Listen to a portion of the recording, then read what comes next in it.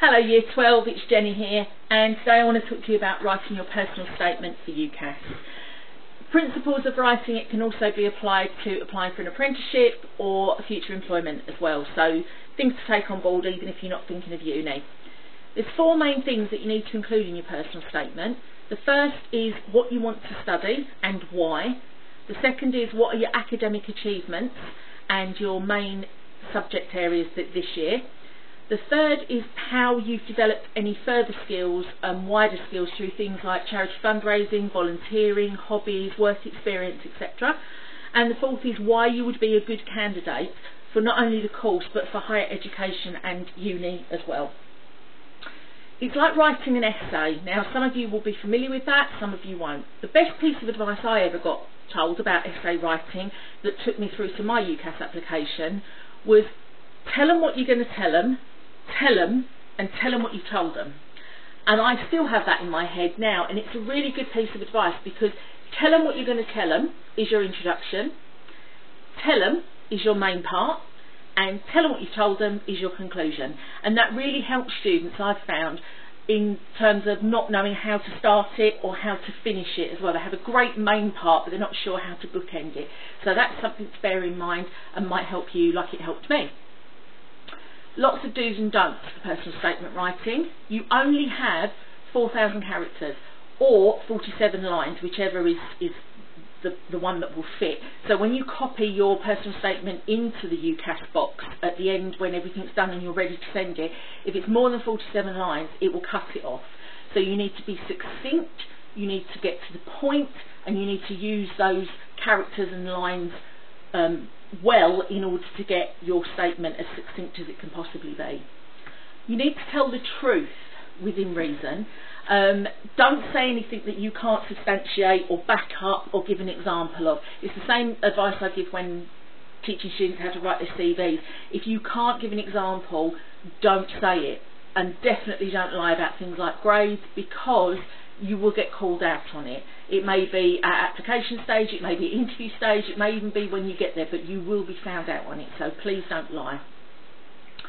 You need to start now and get lots and lots of drafts done ready to get to the final draft. Now, a couple of years ago, one of my students that I was mentoring gave me 27 drafts of a personal statement. I agree that is quite extreme, but he did get three A stars and is now well into his medical degree and he's going to be a heart surgeon one day. So I like to think that's going to come back to help me in the future. But starting early and getting everything down on paper now is going to make it easier. The more you can get out now, I call it splurging, just splurge everything onto the page, yeah? If you can do that now, we can work with you to refine each draft so it gets rid of the waffle and we get right down to those points that you want to make for the university admissions tutors. You need to explain the skills that you've developed, but also you need to put it in the context of how it's going to affect your application.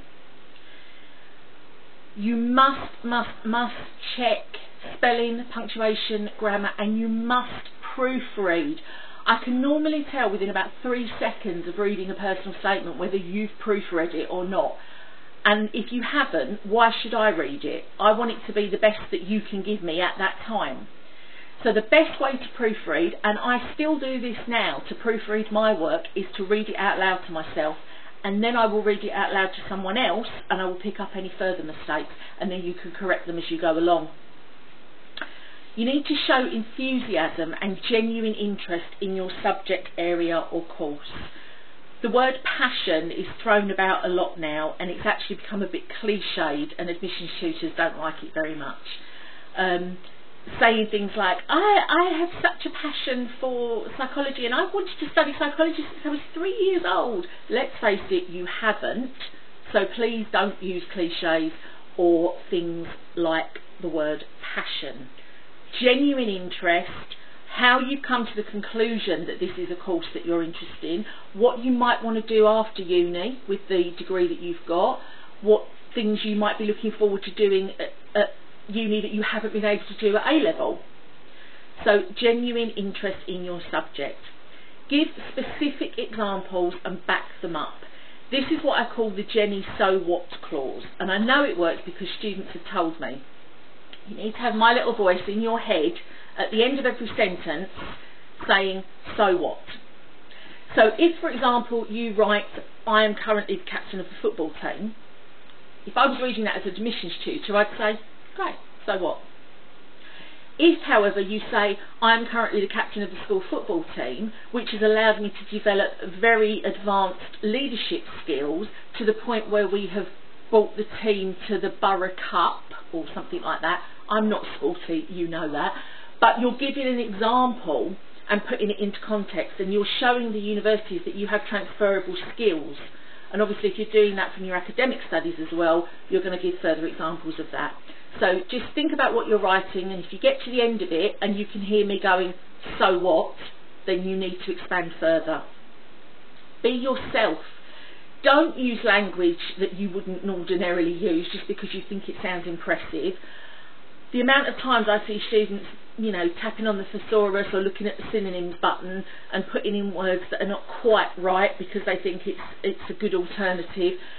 This is your personal statement write how you would write because the admissions tutors want to see you coming through, yeah? Similarly, don't use informal language or slang or abbreviate things. So don't put I'm, put I am. Yeah, you're writing an academic piece of work here. Don't just list the things that you've done. Again, explain how they've shaped you, why they're relevant to your application, and the context in which you've come to put them in your personal statement. Don't spend more time talking about your extra or wider curricular activities than you do your academic.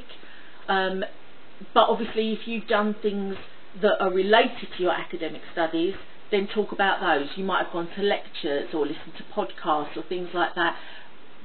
Inter interweave those into your academic ex explanation please don't start every sentence with I and don't put too many I's throughout it. One of the biggest things I write on feedback for personal statements is you are using too much I. Because again, if you proofread it and you find yourself using I too much, then you need to change some of the sentences around so it makes the same sense, but you're just not starting with I. Using I throughout it is it's really niggly and it kind of dumbs down what you're writing. Don't repeat yourself. Don't waffle. They're the other things I often put on personal statement feedback. Stop waffling. Get to the point. Be succinct. Stop repeating yourself. Again, you've only got 47 lines. You need to pack it in there as much as you can. Don't use cliches. We've talked about the word passion, you know, and things like that. Um, look at some examples of good personal statements and bad ones and work out what is good and what isn't. Don't use quotations. Some people can use them very effectively. 99% of applicants can't and admissions tutors don't like them. So don't quote someone famous because again it's your personal statement. They want to hear from you, not what someone else has said. Please don't show your personal statement to loads of different members of staff and ask them for feedback. You will be given a personal statement tutor or mentor and you will work with that person to get your personal statement to be the best it can. Yeah. Sometimes it might be someone you're not used to working with, and if there's any problems, just come and speak to the sixth form team. Yeah. Also, we will never send anything off to you, Cass, without the sixth form team quality assuring it. So that includes your personal statement, your actual application and your reference. So it goes through a lot of quality assessment processes before anything is sent off, so don't worry. But by going to lots of different teachers rather than sticking with your mentor, it kind of undermines what we're doing and the work that we're giving you and the time that we're putting into you. So work with your delegated um, personal statement tutor and you will get to that best possible personal statement. Finally, don't use your university in your personal statement and particularly in your conclusion. Don't forget that all five of the institutions that you're applying for are going to see your personal statement. So if you put, for instance, I am the perfect candidate for higher level education because, that's fine. But if you're putting something like, I am perfect for your university because, that's not fine because it's not going to be in one university, it's going to go out to all five of them. So you need to make it slightly more generic in that sense. Um, but just be aware of the fact that you're writing for five different audiences in that sense, although it's all around the same subject. Don't panic, you've got plenty of time. We start writing personal statements way before any other schools because we want to get you there quicker. You've got lots of time to work with your tutor, you've got lots of time to research, and if you still don't know what you want to do yet, that's absolutely fine. We will work with you. You can look at Unifrog, you can look at Unistats, and you can get some help and advice and everything you need. But rest assured, we will get you to get the best personal statement you possibly can to get you to the uni you want to be at.